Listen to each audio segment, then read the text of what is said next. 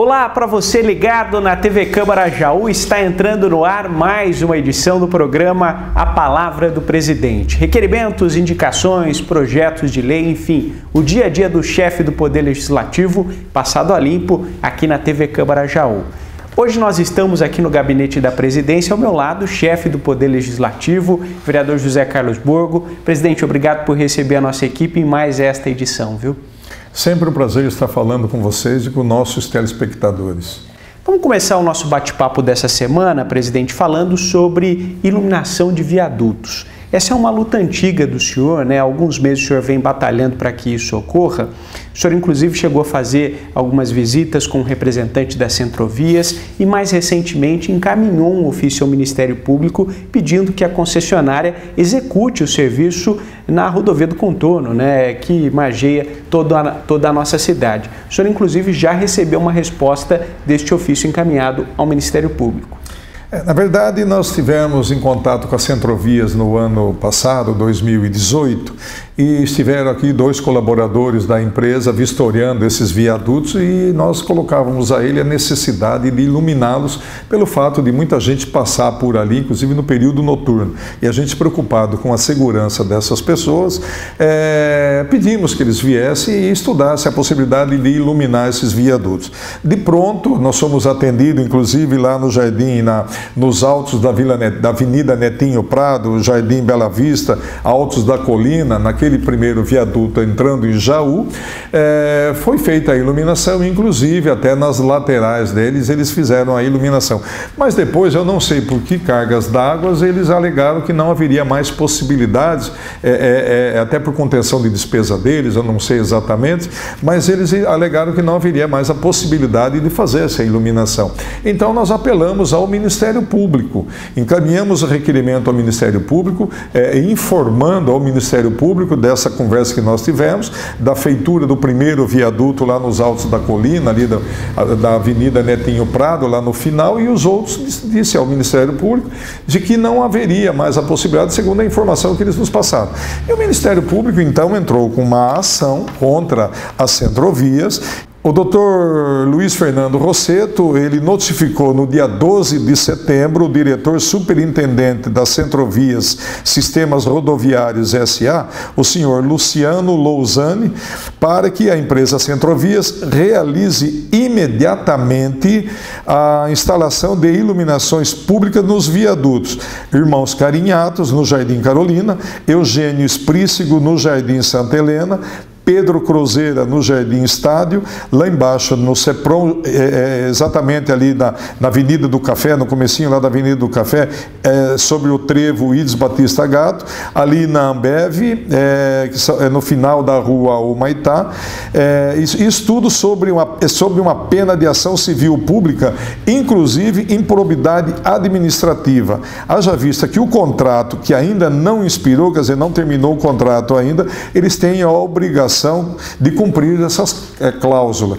Então, o que, que nós fizemos? Nós é, acionamos o Ministério Público e agora, nessa semana aqui, mais especificamente na última segunda-feira, nós recebemos, eu recebi aqui é, um ofício do Ministério Público dizendo que já havia tomado essas atitudes e nós esperamos agora, num curto espaço de tempo, que eles cumpram a determinação do Ministério Público. Eu aproveito aqui para agradecer, inclusive, o promotor do Ministério Público, Público, através do promotor Luiz Fernando Rosseto, que prontamente, a gente sabe, inclusive, que, que sempre é demorado essas questões, mas prontamente ele, ele, ele agiu rápido e, e determinando que a Centrovia, então, faça a iluminação desses viadutos aqui em nossa cidade. É, como o senhor colocou, é de responsabilidade da concessionária que está administrando a rodovia.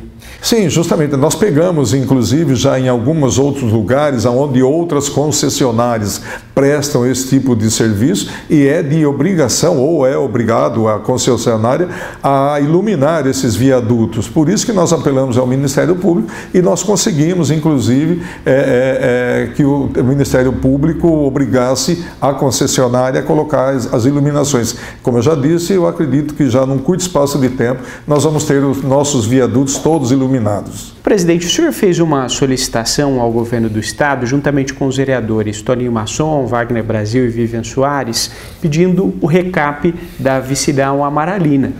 E o senhor, assim como os outros vereadores, receberam uma resposta, né?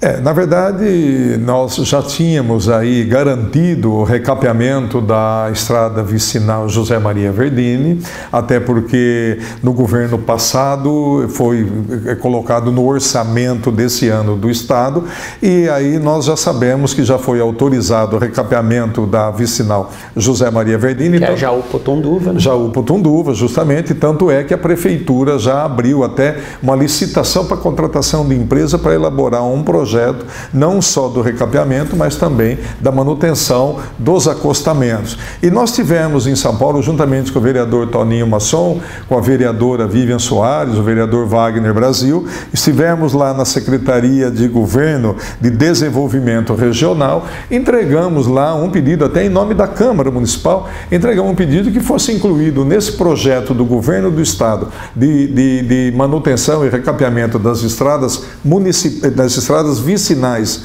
do estado de São Paulo, incluísse também a vicinal Antônio Franceschi, que é nós, aqui conhecido em Jaú como a Estrada da Amaralina. E nós recebemos aí também, nesse, nesse final de semana passado, nós recebemos um ofício encaminhado aqui pelo subsecretário de Relacionamento dos Municípios, Ricardo Pinheiro Santana, em que ele diz que dirijo-me a Vossa Excelência para informar eh, a manifestação prestada pela Secretaria de Logística e Transporte por meio do Departamento de Estrada de Rodagem, DR, no que concede a solicitação feita pela Câmara Municipal de Jaú acerca do recap da vicinal Antônio Franceschi, entre parênteses, Amaralina, eh, conforme o ofício número 059 de 2019, o DR é, está fazendo um levantamento sobre as estradas vicinais paulistas que servirá para a elaboração de um novo programa a ser apresentado aos municípios.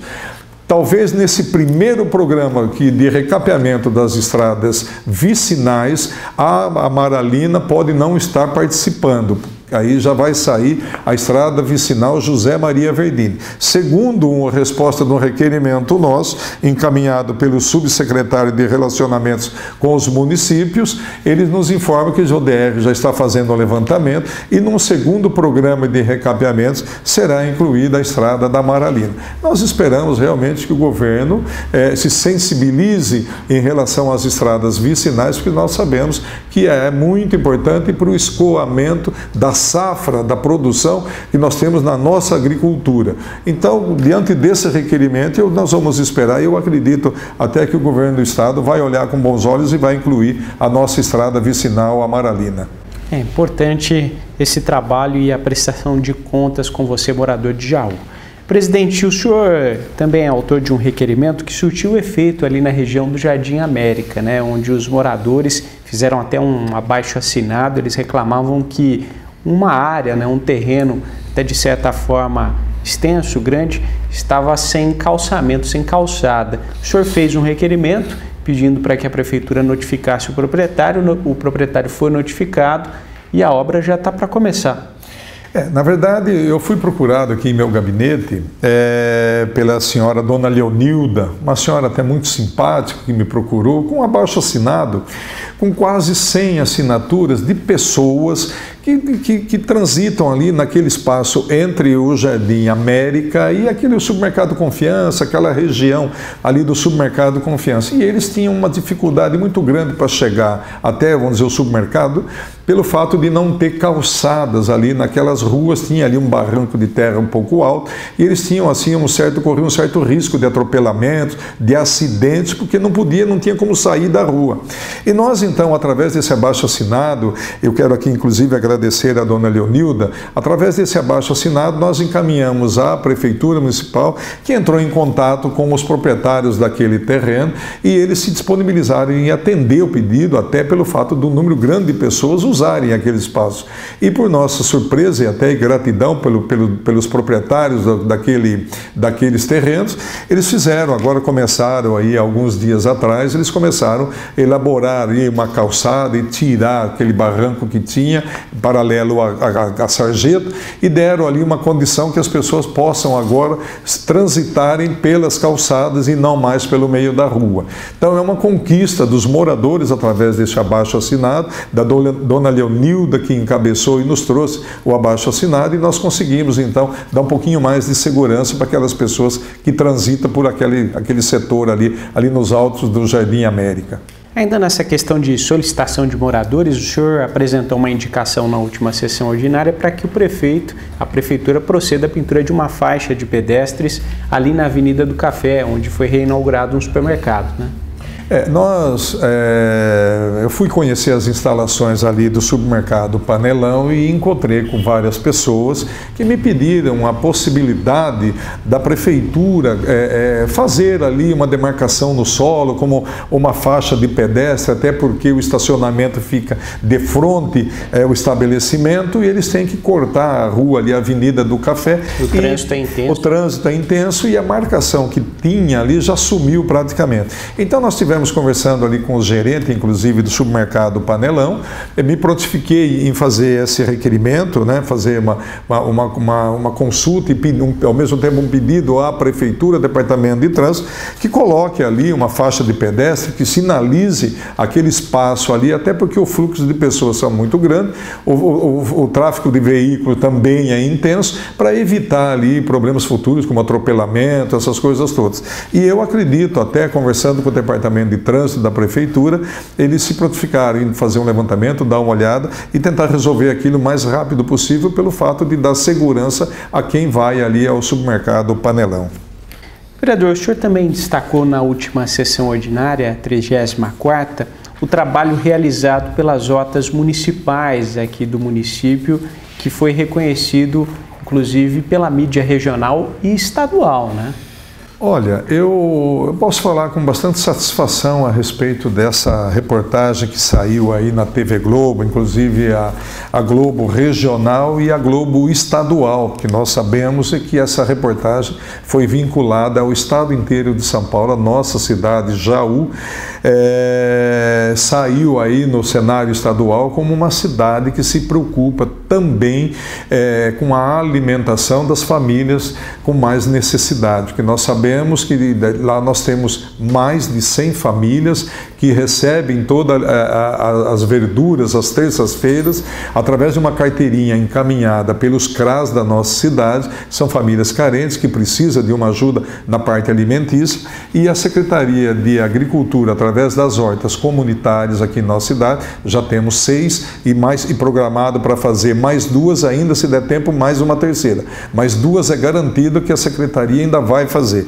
E eu falo isso com toda a propriedade porque antes de me eleger vereador, eu trabalhei, fui secretário de, de, Agricultura, trabalhei também na Secretaria de Desenvolvimento e Trabalho, quando a, secretaria, quando a Agricultura era uma diretoria na Secretaria de Desenvolvimento. Depois foi criada a Secretaria e eu assumi como secretário. Então, nós realmente nós incentivamos, nós demos todo o apoio aos hortelões de nossa cidade, do qual eu agradeço, inclusive, pelo empenho, e nós realmente demos uma mudada no sistema de, de, de produção de hortifruti ali, da, da, da legumes, legumes e verduras nós produzimos, na verdade. Então, eu, eu fiquei satisfeito e parabenizar tanto o secretário quanto eh, os diretores da secretaria, enfim, os hortelões todos, todos aqueles que participam desse trabalho, parabenizar pelo belíssimo trabalho que vem fazendo, além de proporcionar alimentação para uma, uma, uma classe social com mais dificuldade de compra, também vende a preços baratos, R$ 1,50, a sobra daquilo é vendido para as pessoas do bairro. Quem quer comprar, fica à vontade, todos têm direito de comprar aquilo que sobra. E, e, e, realmente esse trabalho vem sendo feito e eu espero que a gente dê continuidade a esse trabalho, porque, como eu já disse, mais favorecido é as famílias mais carentes. E são produtos de altíssima qualidade, né, presidente? Verduras orgânicas, sem agrotóxico, tudo pensando na qualidade de alimentação, da população jauense. Sim, porque você sabe que você chega lá, você pega ela colhida na hora, praticamente. Foi colhida com uma hora de antecedência, vamos dizer, não mais que isso. E não é aquela verdura que já faz um dia ou dois que está na prateleira do supermercado, enfim. Ali você colhe um produto bom, na hora, por um preço muito barato. Presidente, para a gente fechar o nosso bate-papo desta semana, foi aprovado em primeira discussão um projeto de lei de autoria do senhor que pretende instituir o Dia de Conscientização sobre a Pessoa com Surdo-Cegueira aqui no município, data que ficou então instituída para o dia 12 de novembro. A importância né, desse projeto de lei e da inclusão dessa data no calendário oficial do município. É, na verdade, o projeto ele foi confeccionado juntamente com a Associação de Surdos de Jaú e da nossa região e da Surdo Cega Lara Contígio, quando ela esteve aqui em Jaú, aqui nos recintos da Câmara, fazendo uma palestra para a associação e convidados que estiveram aqui presentes. Nós tivemos a, a ideia de, de elaborar esse projeto e nós colocamos no site oficial da Câmara uma participação popular do qual teve aí 97 pessoas concordando a favor de que nós criamos, criássemos essa data de conscientização em nossa cidade. É, nós tivemos também no dia 31 de julho, é, às 10 horas da manhã, aqui no plenário da Câmara Municipal, uma audiência pública com o surdo cego André Luiz Mendes Siqueira, que veio especialmente de Ribeirão Preto para participar dessa audiência pública. Foi criado-se é, o dia 12, foi, foi é, sugerido o dia 12 de novembro como o dia da conscientização da surdo-cegueira aqui em nossa cidade, até pelo fato de ter sido o primeiro seminário brasileiro de educação de deficiente audiovisual ocorrido na cidade de São Paulo do dia 12 a 16 de novembro de 1977. E teve também o apoio da Fundação Municipal N. Sullivan de São Caetano do Sul, a primeira escola para pessoas com surdo-cegueira no Brasil e na América Latina. Importante, né? Mais um passo do Poder Legislativo em direção da inclusão das pessoas com algum tipo de necessidade especial. Presidente, mais uma vez eu quero agradecer a sua acolhida e a sua participação em mais um programa. Dizer sempre que estamos aqui à disposição para conversar com você, com os nossos telespectadores. É, sempre é um prazer passando algumas informações para vocês que nos assistem. Estamos aqui de portas abertas para recebê-los, sugestões, críticas, fiquem à vontade. Muito obrigado a todos, um grande abraço. Esse foi o vereador José Carlos Borgo em mais um programa A Palavra do Presidente. Muito obrigado pela sua companhia e pelo carinho da sua audiência. Até a próxima.